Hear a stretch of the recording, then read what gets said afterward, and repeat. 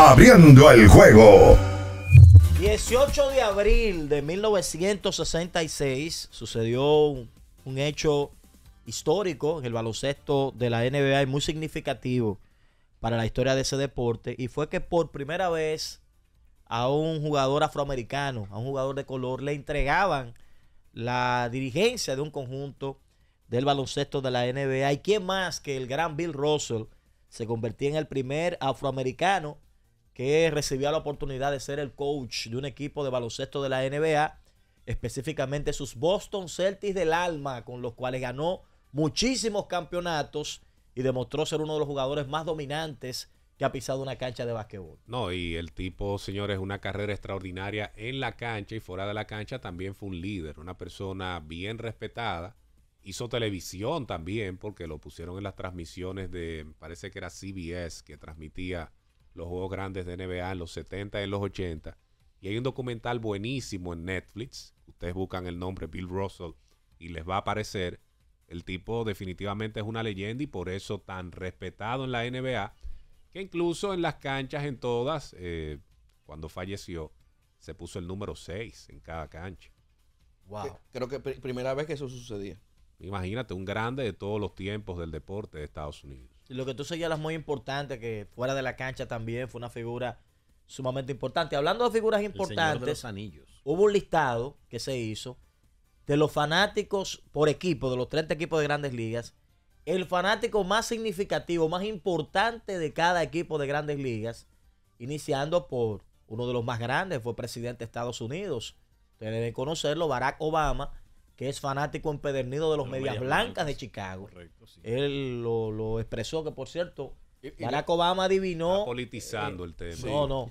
En un momento adivinó el y bracket. Si estás politizando. El bracket de la NCAA, el presidente que lo armaba sí, en su lo está despacho. politizando el tema ya. Él adivinó el Final Four. Creo que no adivinó el campeón, pero hasta el Final Four su bracket estuvo perfecto. Obama tiró la primera bola Lo con los estás cachorros. Y politizando le el tema. y le dieron candela, le dieron candela. No, no, pero lo está politizando el tema. Y si lo estás politizando, entonces No. George Bush, claro, pues tú estás con los demócratas y yo con Sí. los republicanos. Ey, Este de los vigilantes de Texas, George sí, Bush, que es un amante del béisbol, verdad. hizo el primer lanzamiento de la primera bola después de los atentados como una muestra de confianza para Nueva York. los amantes del béisbol. Salió el presidente, señores, a hacer el lanzamiento de la primera bola en Nueva York después de que el béisbol se reinició luego de los atentados de las Torres Gemelas en Estados Unidos. Pero mira, hay un listado interesante aquí. Voy a mencionar los más conocidos para que la gente ¿verdad? se Eso es familiarice porque hay de otros grandes nombres. ligas solamente. Sí, de grandes ligas. Hay que hacer uno de Lidón después. Por ejemplo, Está bueno. eh, Yo estaba pensando en ese ahora mismo. y ese es fácil, hay muchísimos.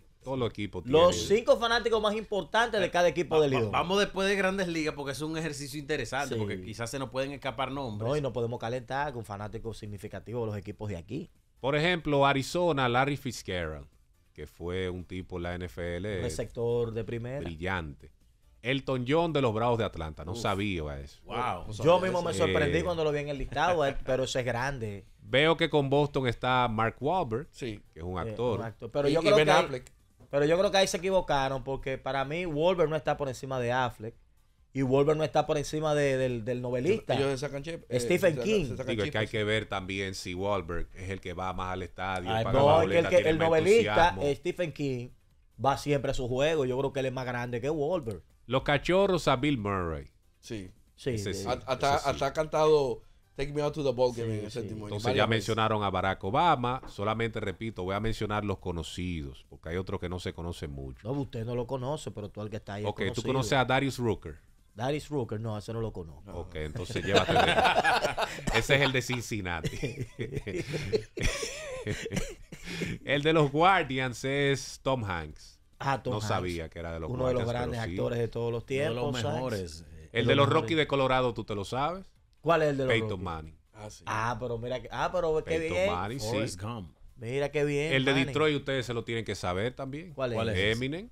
Claro, Ey, sí, claro. sí. Ah, bueno, sí, él, él- entregado. él incluso ha hecho Videos, ha hecho ha videos, hecho videos. musicales. Bueno, este año que fueron los. Lions al playoff, que no iban desde los 90, él hizo hasta una promesa. Dijo, si llegan a tal sitio, prepárese el, el pueblo que voy a hacer cosas, porque estaba muy emocionado. Travis Scott es un rapero.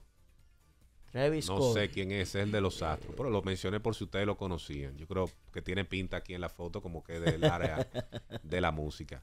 Entonces, Will Ferrell, de Los Angelinos, ese es el actor que es un Comediante. señor bien mayor, Sí, a mí exacto, nunca me ha hace gustado. comedia. Que, que inclusive hizo con Grandes Ligas hace unos años, como en el 2015, por ahí, que jugó con varios equipos pretemporada. Hasta llegó en un helicóptero, un juego y todo. Y la película esa que hizo, que era como de un equipo de basquetbol de los No, 70, de una liga. ¿No te gustó eso? Se pone No unos me- a mí él no me gusta para unos nada. pantalones más cortos que unos boxers. No, no me gusta. Snoop Dogg de los Dodgers de Los Ángeles. Ey, rapero. Duro. más. Entonces, Un los hombre, Marlins. un hombre de Nueva York. Un hombre que se identifica más. Sí, pero yo con- creo no, que- Los Ángeles. Los Ángeles, Snoop No, pero Dogg. Los no, Ángeles. Porque con los Lakers no come cuento. Ah, va- Dogg. va Sí, mucho sí, al sí, con Staples los Lakers Pero cuando los Lakers no están de nada, se vira y se va para otro equipo. Sí, por ejemplo, era muy fanático de los Dodgers también, el mismo Kobe, Kobe Bryant. Con frecuencia se daba su vueltecita a ver los juegos de los Dodgers porque le gustaba mucho el equipo de Los Ángeles. Marlins Man, el de los Marlins, ese es el fanático que. De la camiseta. Sí, de la camiseta mamey que se sentaba detrás. Pero ya como lo ponen, Marlins Man. Sí, porque no tiene nombre. Ese es su nombre. Porque es que él va con la de los Marlins a todos los estadios y se sienta ahí mismo detrás del home.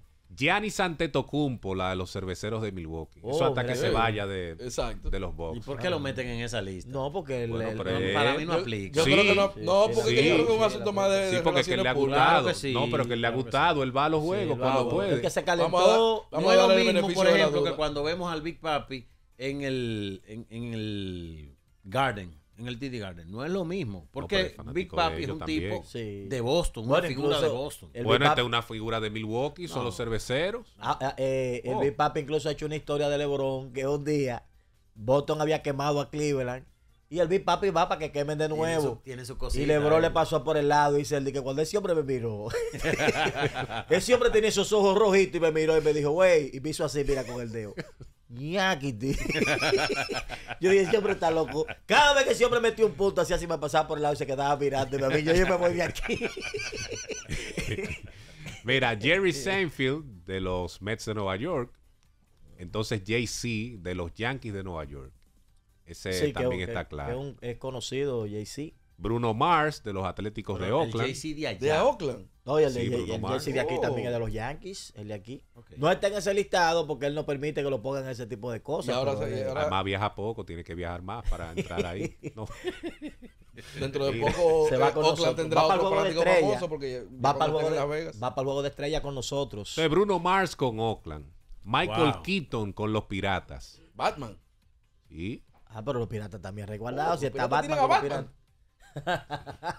Tony Hawk con de los el- el- padres de San el Diego. Patinador. Es el de los. Entonces, Joe Montana con los gigantes de Ah, San pero Francisco. uno de los grandes. El, el otro era quarterback del conjunto de los 49ers. Muchos los consideran el mejor de todos los tiempos ahí, peleando con los Brady, con Manning y compañía. Nelly con los Cardenales de San Luis, ese es un rapero. Sí, un lo rapero conocido, Nelly. Dick Vitale de los Rays de Tampa Bay. El, el comentarista. Sí, es. Eh, George Bush, el presidente con los Vigilantes de Texas. Claro.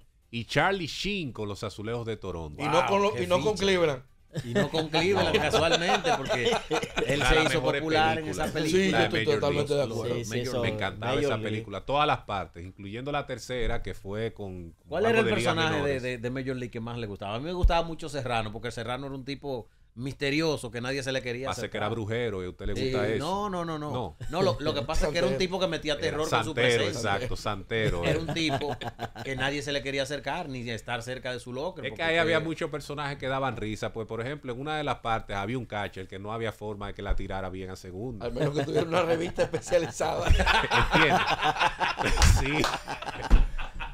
Bueno, pero, pero especializada en qué tú lo puedes decir porque eso no es una mala palabra. No, No, para- ni- en para- ni- para- en- en para chicas. adultos, Sí. para adultos. Sí, especializada muy- en cine para adultos. Era Sí, muy popular, esas revistas eran muy populares. Pero ahí una- estaba Charlie Sheen también, estaba ahí Roger Dorn, que era el tercera base, estaba el catcher que tenía el romance, eh, no, ahora no me acuerdo el nombre de ese catcher. Tom. Estaba Willie May Hayes, que era el jardinero central que corría muchísimo y que en una creyó que tenía muchísimo poder. Sí, Y estaba también en la segunda parte un catcher que después lo cambiaron a los medias blancas, Jack Parkman, que era enemigo de todo el mundo en ese equipo y lo cambiaron. Tú sabes que en la. en Ese la- personaje a mí me gustaba mucho también. Buenos días. Y el narrador, por supuesto, Bob Wecker, que era un espectáculo. este. Ese mismo que cuando el equipo estaba perdiendo iba borracho y soltaba eso.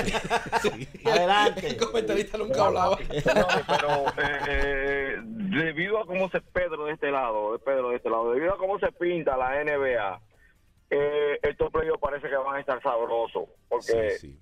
a veces uno se quiere acotar de noche y no hay forma, porque es que tú terminas con la intensidad. Tuve el primer juego, el juego de el juego de Filadelfia y Miami. Eran las diez y pico de la noche y yo dije, ¿qué hago? ¿Pago el televisor o sigo prendido? Está muy emocionante la.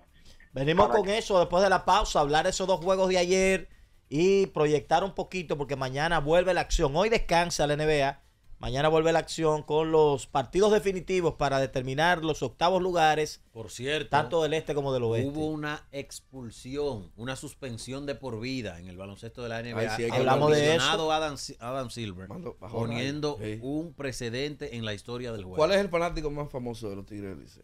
Eso viene. Vamos a hacer un Hay top muchos. 5 de cada equipo de la Liga Dominicana. Oh, Y los gigantes llegan a 5. Claro, un top 5 para no dejar gente. No, pero porque- 5 es demasiado.